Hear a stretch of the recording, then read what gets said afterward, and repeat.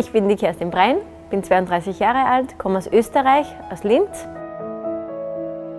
Die Freiheitsdressur von Kerstin Brein mit ihren Ponys bringt eine unheimliche Leichtigkeit und zeigt eine heile Welt in der Show.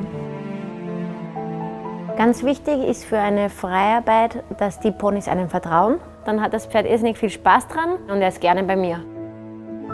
Ich möchte, dass die Leute Teil der Show werden und dieses schöne Gefühl mit auf den Heimweg nehmen können. Es ist, als wenn das einfach nur ein Tanz wäre zwischen Kerstin und ihren Ponys. Die Freiheit ist echt, also in jedem Moment ein Highlight. Das ist schon wirklich faszinierend.